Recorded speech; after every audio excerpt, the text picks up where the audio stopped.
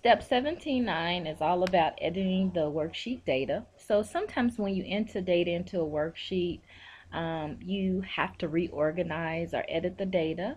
And you can do so by clearing, replacing, or copying the existing data into your spreadsheet. So let's go ahead and get started. You should be in Cruise 5. If not, go ahead and open it. And let's go to File, Save As. And we will save Cruise 5 as Cruise 6.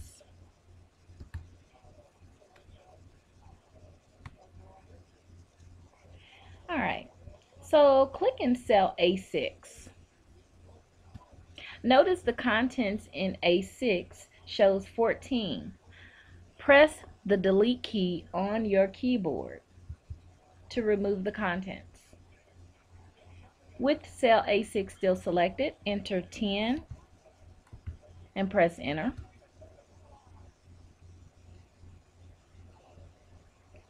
If necessary, click on the Home tab. Click cell A6 and click the delete cells button arrow.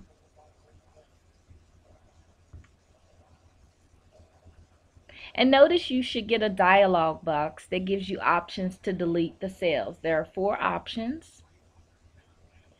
You would like to click the shift cells up. And notice what happens to the text once we press OK.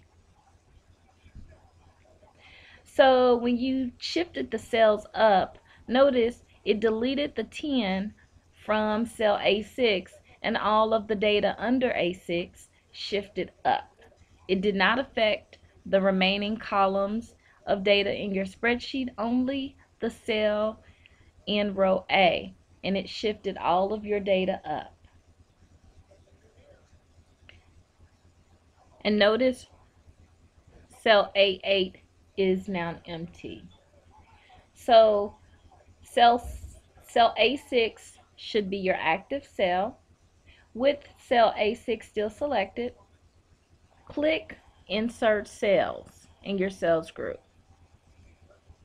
And this time we will select Insert Cells and you get an insert dialog box with four options you want to select shift cells down. And notice again that cell A6 is now empty because your data was shifted down.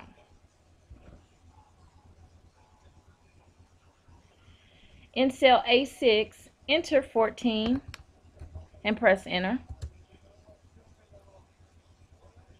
Click cell D4. And in the clipboard group, click copy. And notice that when you click copy, Caribbean has a marquee that lets you know you have copied the contents in this cell. Click cell D9 and in the clipboard group, click paste.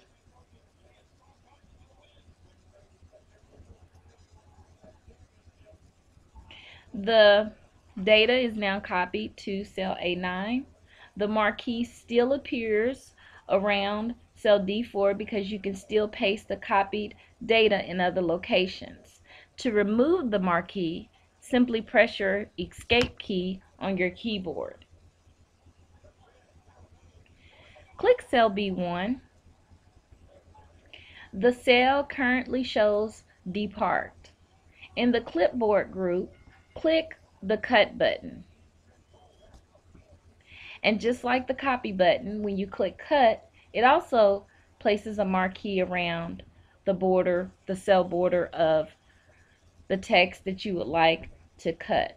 Click cell E1 and select paste and notice that because we cut our text from cell B1 and pasted it to E1 column B is now empty All right, so click column D heading to select the entire column and click your cut button. Select column B heading and paste your contents. Now notice that our contents from column D has been moved to column B and it also maintains your format to auto fit your text for column B. Select rows 4 and 5. Click the insert button arrow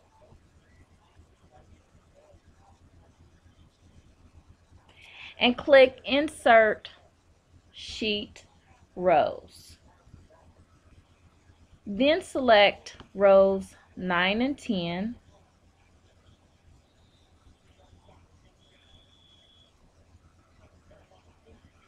Click the cut button.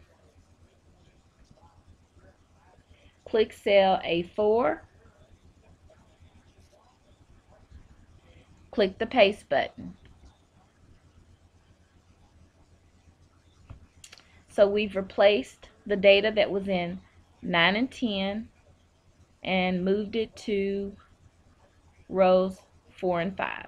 So we just went through a series of clearing contents in our cells as well as cut and pasting data within columns and rows and copying and pasting data within columns and rows.